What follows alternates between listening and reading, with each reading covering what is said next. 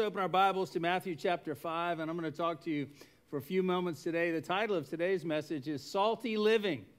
Can we say that together as a group? Salty Living. And there's uh, so many applications uh, in the scripture alone about salt. I'm going to give you a little history of it, give you maybe a little better understanding before the context of this particular scripture. But in the Old Testament alone, uh, 35 times, uh, the, the word salt or, and or describing salt and some application of salt was mentioned in the New Testament.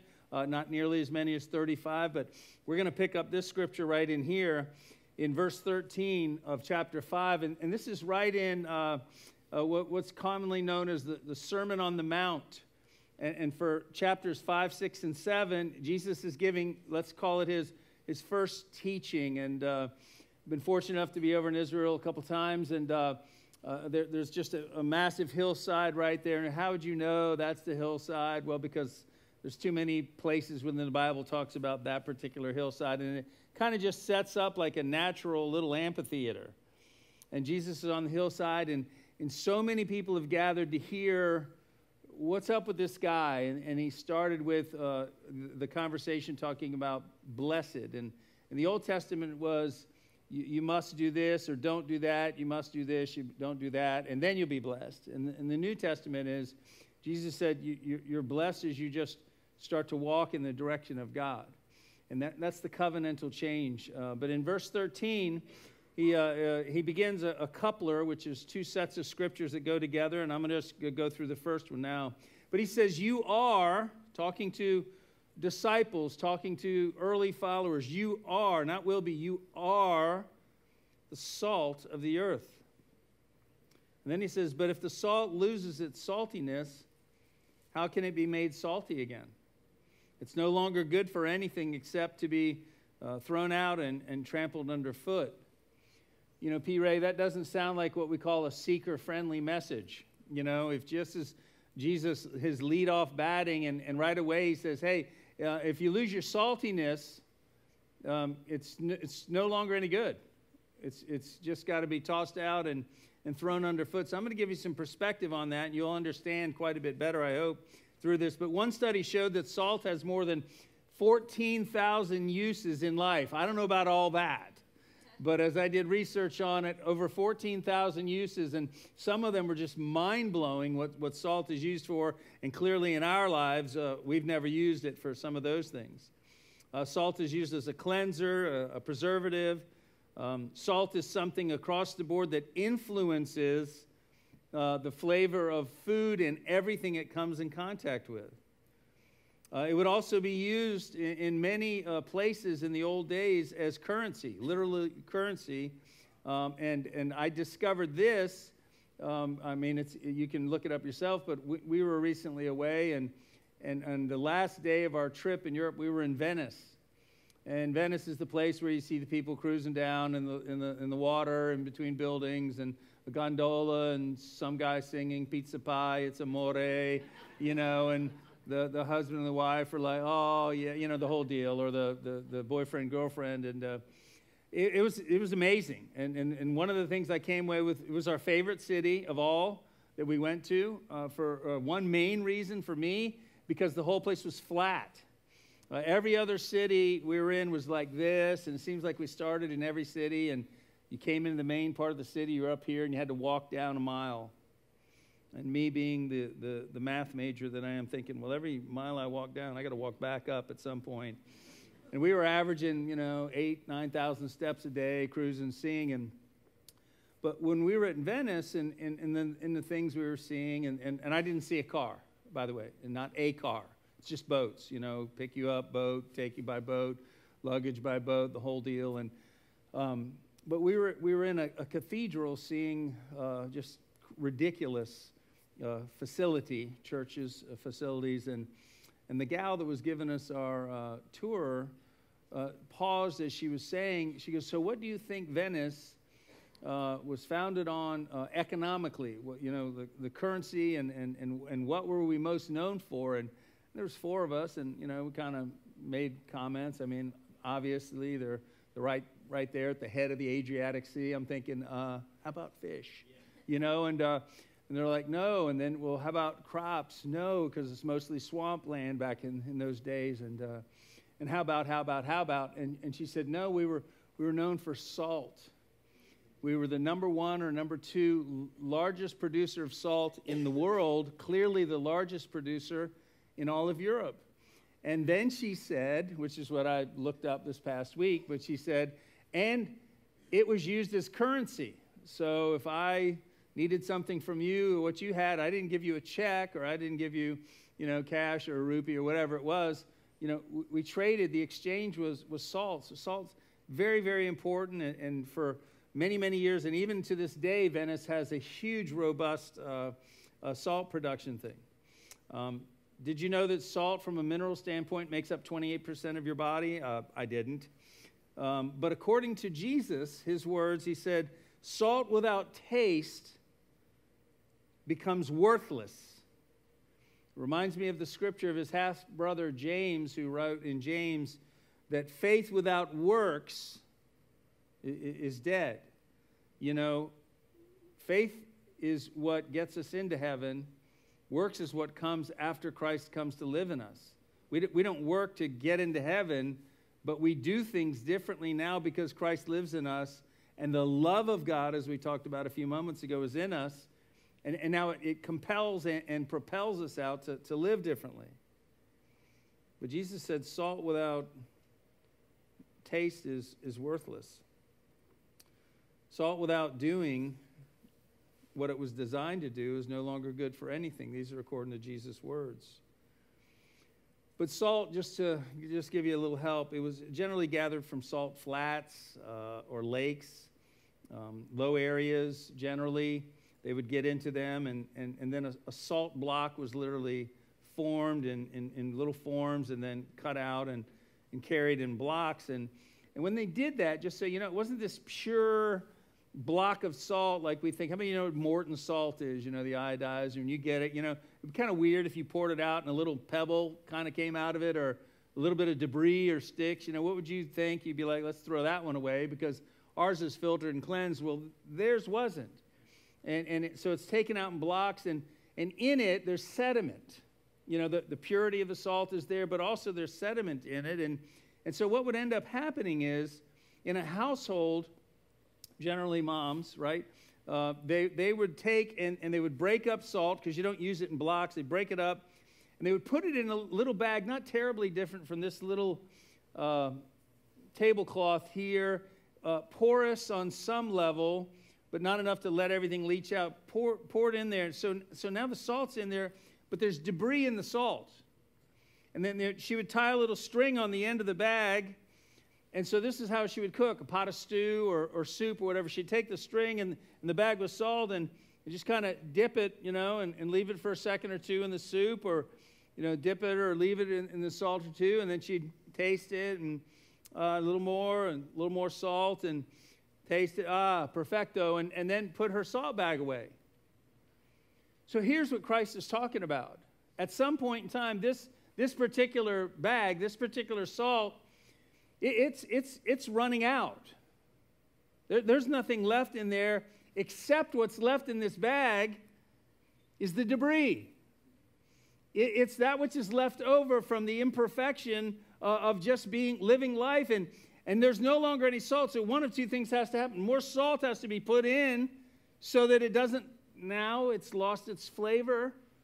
Salt as a preservative, you know, is, is also a preservative. It, it, has to be put back in. So Jesus said, basically, in essence, so you know, in the time and, and, and, and what he was saying is, hey, listen, that salt needs to be thrown out. It's good for nothing. And he even said it, it should be put where people walk.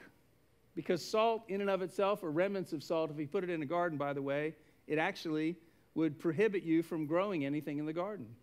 So, in context, just so you know, that, that's kind of what he's, he's talking about there, but he's relating it to the disciples. And if I can be honest with you, they were no more the salt of the earth when he first met them and started talking to him than I am on the man on the moon. They were at the very beginning of the journey, but he is speaking prophetically. He is speaking as God speaks to you oftentimes in your life. He speaks to you in a way that you're like, that's not me. Who, me? Gideon is, is, is behind a, a, a wall. He, he's, he's one of the men of Israel, and every year the men of Israel would plant their crops, but they had no weapons. And every year, as the harvest was coming in of wheat, the, the Midianites, the, the enemies of Israel, they would come in and maraud. They would take everything they wanted or need. And, and there's nothing the Israelites could do. They didn't have any, they didn't have any metal, they didn't have any swords, they didn't have any spears. And they just let them take it all. All their hard work gone. And what was left was what the Israelites got to eat. And I did this series one time called Living on Leftovers, and I talked about my mom my mom worked from the time we were little, and my mom used to make meatloaf monthly. And my mom would make multiple meatloaves.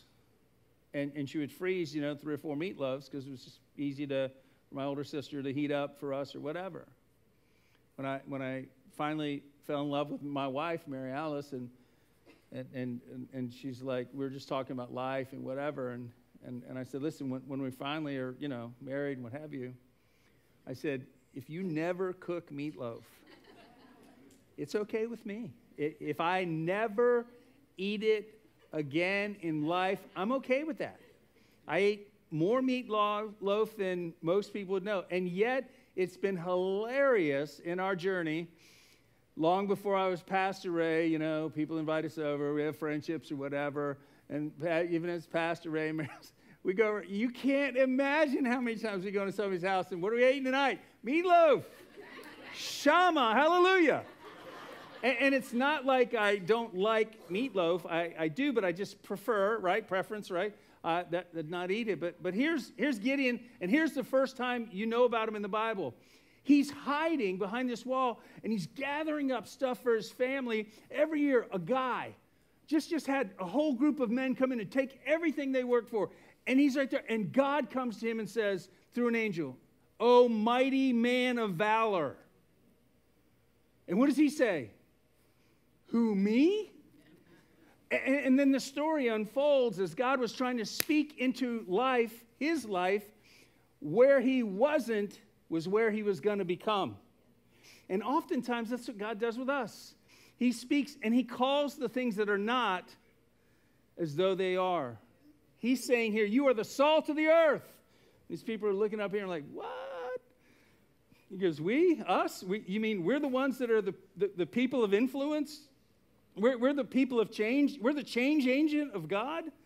We're, we're the things that are going to preserve our society, the three greatest things that salt does?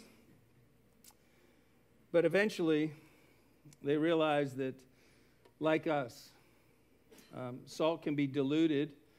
In other words, it can be minimized. Salt can also be polluted. So, as Christians, we don't want to be diluting what God has put within us, what He's made us for, what He's recreated us for, and we, we don't want to be polluted by all the ancillary things that go on in life. As Christ followers, we're looking to maintain preserving our influence and expanding it to those around us.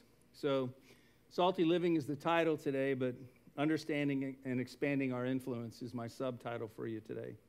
Colossians chapter 4, verse 6, another New Testament scripture talks about salt.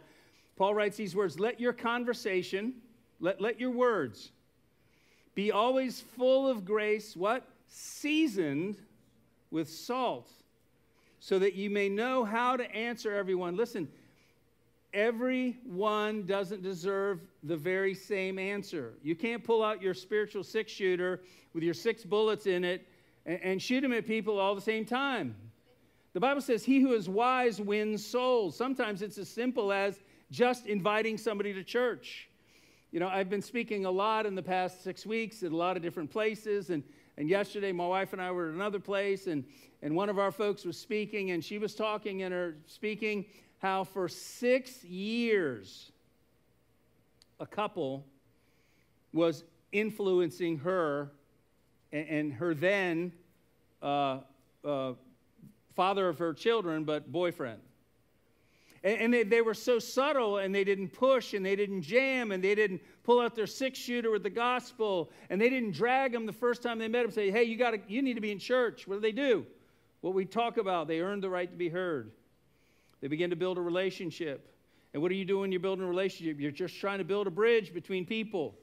Completely different lifestyles. Commonality, they were on the soccer field, kids played soccer. They would see each other in a lot of things, but live in two totally different worlds, and yet they weren't these people either. Oh, we don't live like that. Oh, we don't do that. Oh, no, that, that's not what we do. For six years, they modeled being salt. They were influencing, they, they, they let their words be seasoned with grace. And, and that's what we talk about at the church here. You know, if, if, if you're super harsh and you're super abrupt and, and, and you're super mean spirited and fill in all the superlatives that you can negatively, just don't tell people you go to Beach Fellowship, will you? Please just don't do that. Just tell them I go to church or something. But because what we're learning is we're, we're growing in those areas. And, and as I said before, I, I, I wasn't the most graceful person as a 19 year old ball player in school. I mean, you know, just, we just live differently. But Jesus' admonition is our admonition, and this gal in our church and, and then her boyfriend came to church. They got radically saved with us. Their whole family and generationally has changed, and they're in leadership in our church. It's just spectacular to realize it's not just inviting somebody to church, sometimes it's going the process with people and waiting for the right time and, and, and, them seeing, man, these people are, they're awesome. And, and, and then you have an opportunity there. But we also realize that salt creates thirst. How many of you know I'm talking about? Um, go to a restaurant, right? Some, and we'll leave them unnamed, but you can go to some restaurants, just awesome food, right? and you come home and you're like gulping gallons of water. You turn your, if you're married, you're like, oh my God, I'm so thirsty. Me too. And why? Because we just ate sodium times 10, but it tasted good, you know what I'm saying? And uh, which, which for us, our lives should be lived in such a way that others would see what we're doing and, and they want to glorify God. They want to ask you, and, and I promise you, this is not an advertisement. We have been asked so many times in our journey with Jesus over 42 years this question Hey, what's different about you? I mean, I, I don't usually wear a sport jacket uh, out in public. Um, uh, I wear it, you know, or a, a, suit and tie if I have to be at somewhat places calls for that. But we're just casual folks, living life, earn the right to be heard, trying to change the world, realizing that God has given us and made us all salty people to go live salty lives. So to preserve, ready to be influencers, and, and, and literally to create thirst in people. There, there, there's something about it that they see. But salt, so if you didn't know, is a crystalline substance that um, consists mostly of sodium and chloride. It's, it's abundant in nature. It's uh, used especially to season or preserve food. It's also used to treat, um, um, influenced by seasoning. It's used um, in brine and in saturating, uh, marinating. We talk about that a, a, lot in life. It's, it's a, a, brine is a solution of water and, and salt, and, and it can, you know, salt beef or fish. That's what they do. That's, that's how they kept things. They didn't have freezers and refrigerators. I don't know if you knew this or not, but if you were to take a drone today and, and go over a lot of areas where animals are, you'll see tracks, long animal trails. We know this because we, we like to hunt Please don't email me about liking to hunt. I mean, I love animals, but anyway, we like to hunt. But anyway, you can see long trails, animal trails that are cut in, in, in all woods and, and, and land all over the world that go to water, right? That kind of makes sense. Well, I don't know if you know this or not, but you can find long trails where animals have cut in and they regularly go to where salt is. It's biologically necessary for them. Um, in, in, Virginia, you can put salt blocks out for certain animals uh, for X amount of time in the year, and, and, then you can't do it anymore. And the guys that are uh, trying to influence the game warden in the wrong way, they put salt blocks, uh, blocks out during the actual hunting season to, to attract the, the critters. And it does. And, uh, but it also tracks the game warden, so please don't do that. Follow along in that. It also gives flavor. Salt is mostly, though, sprinkled. This is, I thought, an interesting little thought. It, it's mostly sprinkled versus dumped, and, and in modest amounts uh, at uh, all times. So, um, there's nobody in here, I'm sure, that ever did or participated in, but some of you might have saw uh, in your high school, probably, may, maybe in, I didn't have a middle school, but maybe in elementary school. Clearly, none of you would have done it college or post college, but where you, you unscrewed the top of the salt shaker and just waited for whomever to come, and as they grabbed it, covered, and uh, obviously ruinous to, to that meal, but it's supposed to be sprinkled. But I want to take this term here, influence, for a moment and talk to you about it. Jesus was speaking into their lives in the very beginning of this journey. He says, Hey, you are my influencers. You're the influencers to the world. And influence is leading, leading is influence.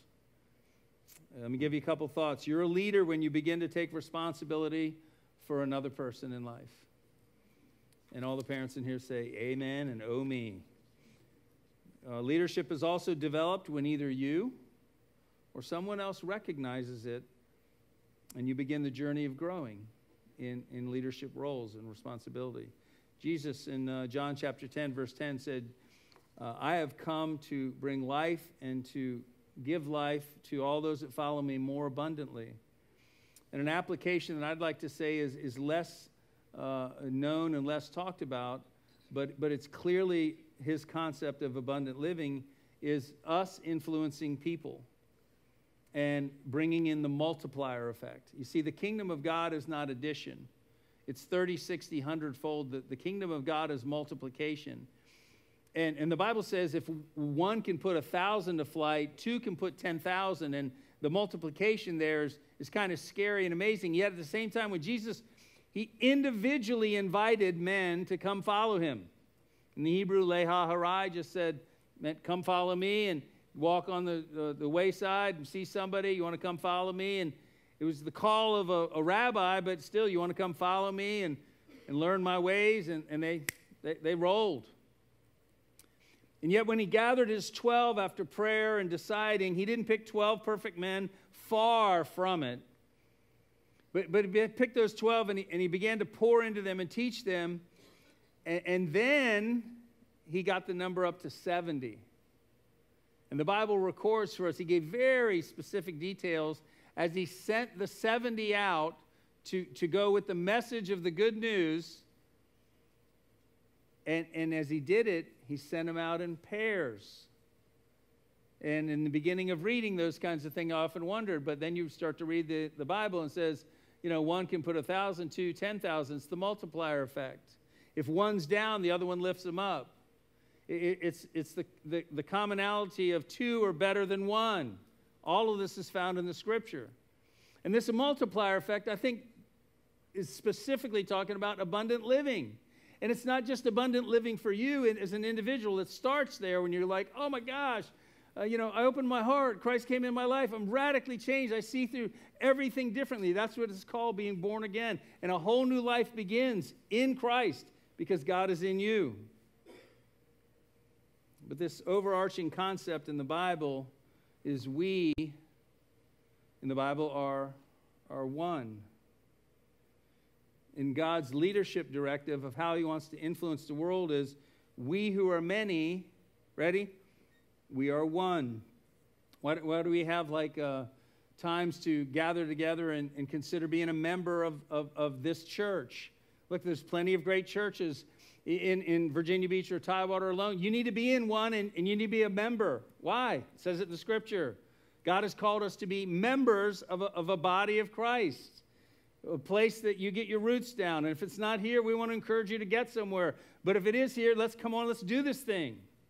And how do you do that? It's as simple as understanding. You need to understand what people believe that are leading any entity. You don't, we don't say people just sign on a dotted line or make some sort of commitment because that's not what it's all about. We're looking for people that are of like minded because we who are many are one.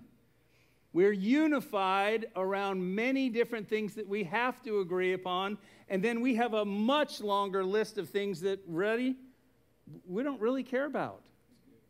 It's not, it's not our job to be the life police of everything in your life. No, learn how to possess your own vessel in honor before the Lord.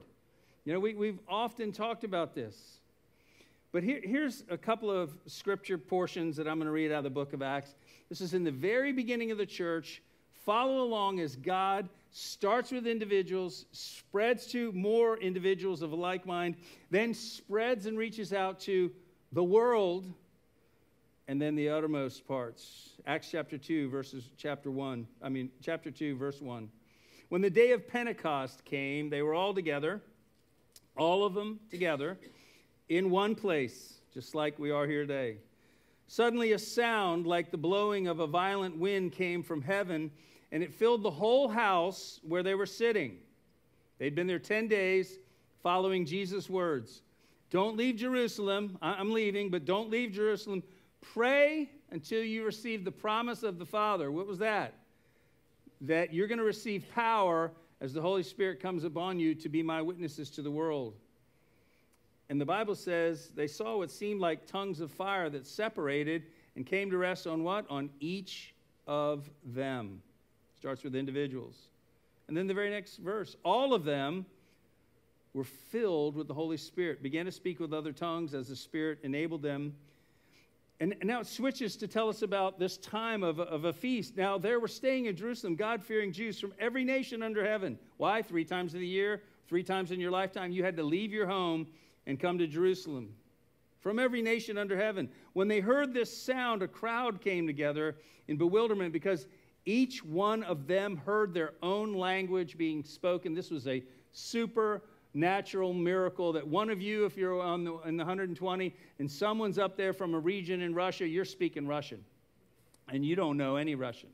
As you saw this morning, Pastor David, he speaks fluent uh, Spanish, Spanish uh, version dialect, uh, business or whatever he said. Um, you know, but these people are hearing it's a miracle. Utterly amazed, they ask, Aren't these, all these guys that are speaking Galileans? That they're right from here.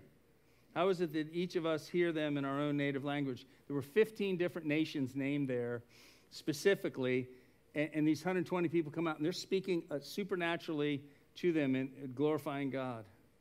This is where the promise of influence began. The Holy Spirit was poured out to each one first, and then to all of them being filled. Initially, Jesus personally invited individuals to follow him. He then trained them to go out and influence the world. Yet they sent them out together as one, one message, one thought, even though they're individuals. This was the promise of God living inside of people found throughout the Old Testament. One day he's going to come and he's going to write his message on the tablets of our hearts. No longer the stone tablets, they serve their purposes. Now he's going to write them on the fleshly tablets of their heart, and they're going to know me, every man from the greatest to the least what happens? This is the transition from individuals to whosoever will. Next section, Acts chapter 2, verse 36 through 41. Peter comes out. He's one of the 120. Remember, just days before he denied Christ. Now he's filled with the Spirit of God. And he comes out and says, Let all of Israel be assured of this. He, he's in Jerusalem. It's all Jewish people that God has made this Jesus, whom you crucified, both Lord and Savior or Messiah. When the people heard this, they were cut in their heart. And they said to the Peter, Peter and the other apostles, Brothers, what do we need to do? That, that should be the response. The very first time you or I ever heard the gospel, and it was not my response. I had all the reasons in the world to think it's impossible to have a relationship with Jesus. It's impossible. I talked, I listened. I, I don't recall being rude at all, but I worked with the guy all summer. I was 15, he was 19, and I just couldn't get it through my head. And yet the issue was I had been cut in my heart, but I, I just didn't want to go there. Peter replied, This is what you do repent, which means change your thinking. Be baptized, every one of you. Listen, we had over 60 people on Easter Sunday in three services make first time decisions for Christ. If that's one of you, you need to follow up now in believer's baptism. You do not need to go down here to the ocean front and freeze. I mean, the water temperature is a smidge cool right now.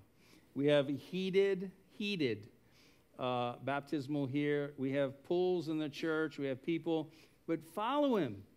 Follow, go to the next step. And then get involved with the Word of God. Get involved in the church. Get involved in a life group. Come, come out to a discovery weekend and see what's going on. Follow with the next steps. It's not enough just to open your heart.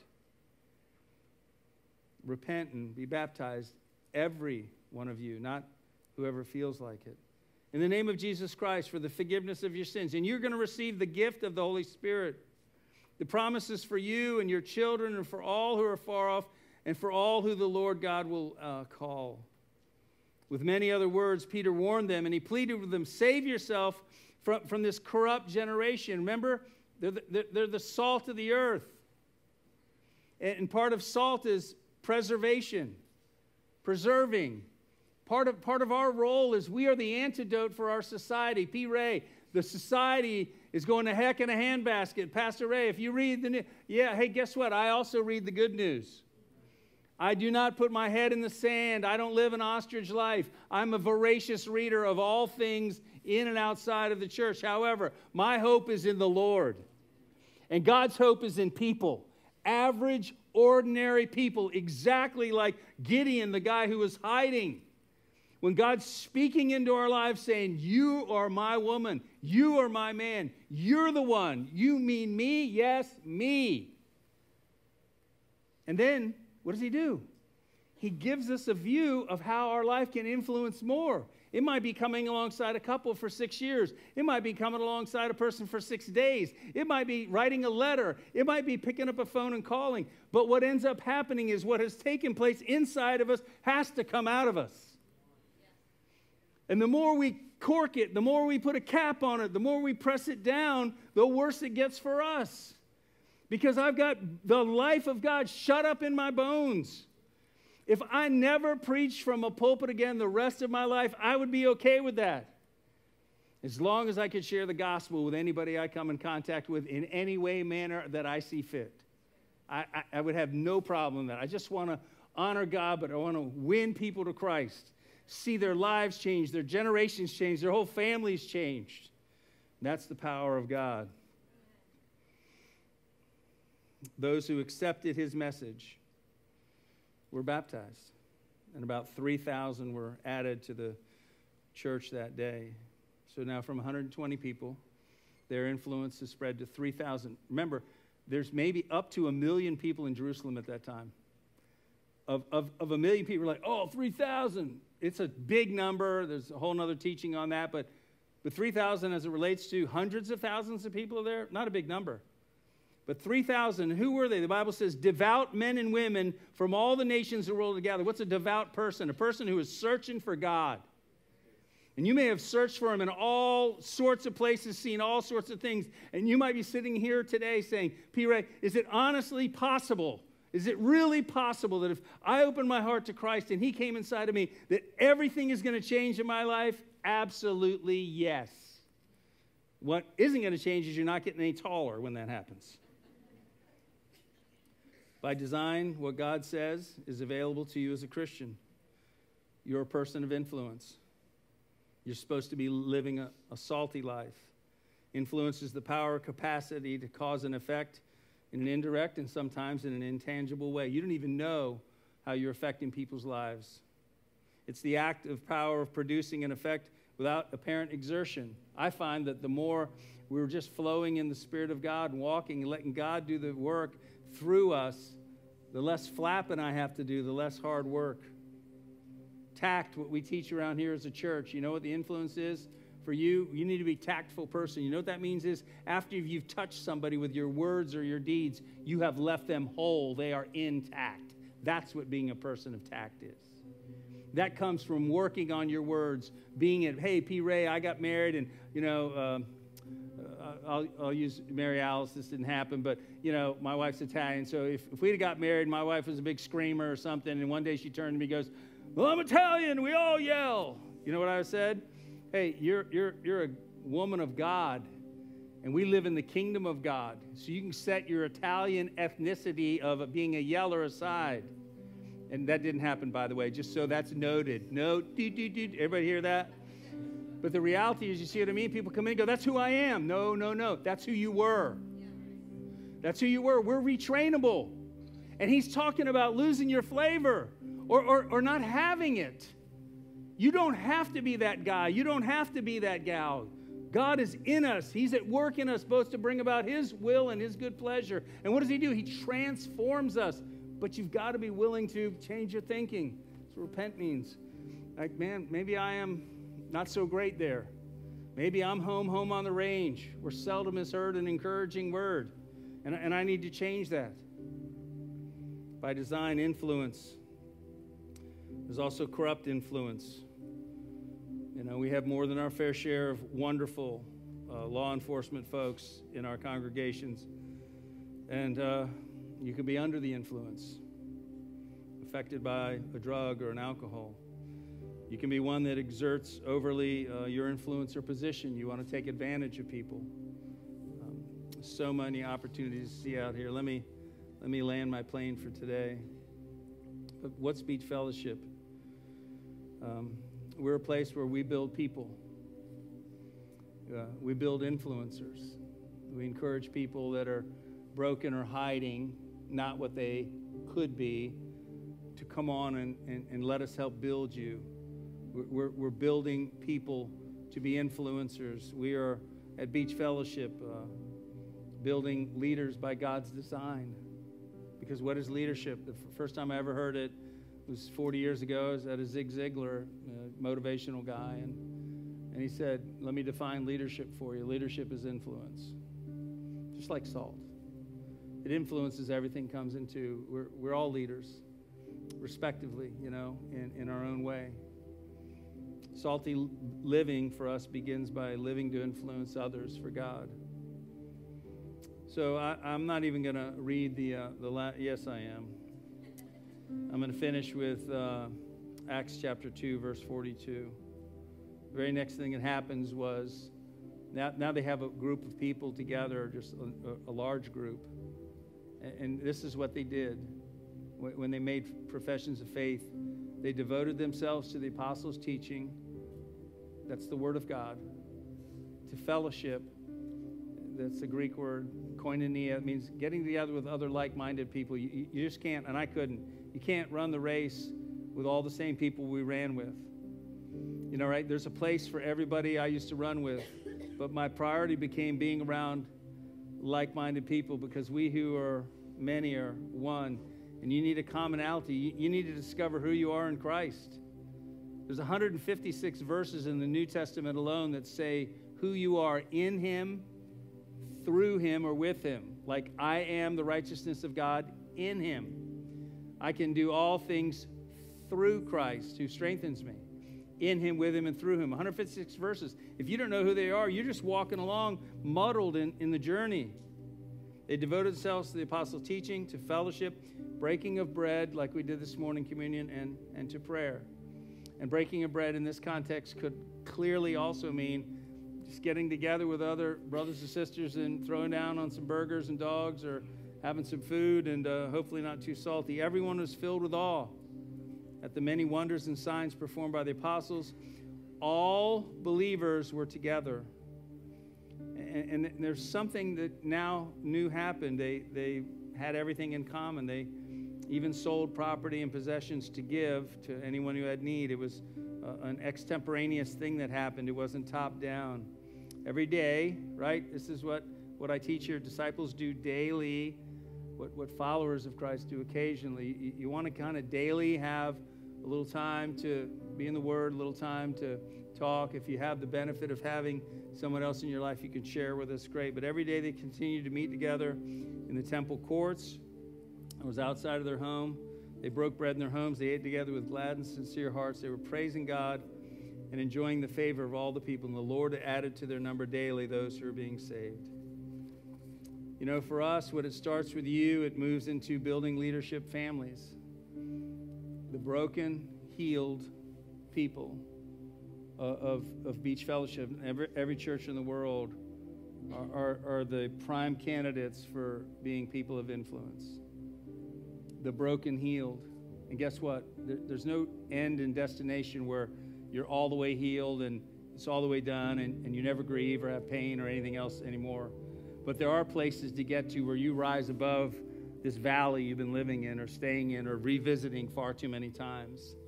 God calls us to come to a place where He's going to set our feet on higher places, on, on places to walk and to be able to be productive in this life, and, and that we're sensing ourselves better. We're raising up generations of people that will repair the breach. And what is a breach? A breach is a, a broken area between what should be and, and what is.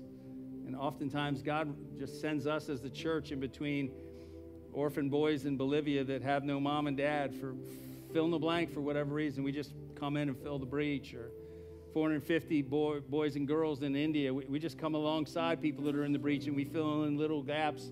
Been doing that for 17, 18 years. Coming alongside in Israel as God is drawing Jewish people from all over the world back to Israel for the first time in these last days revival. And what are we doing? We're shipping. Last, month was 130 containers.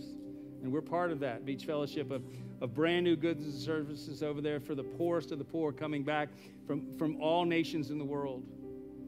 That's who we're called to be repairs of the breach, people of influence, God's people on earth. Let's close today. Bow your heads with me. Father, again, thanks so much for today. And Lord Jesus, you, you said it.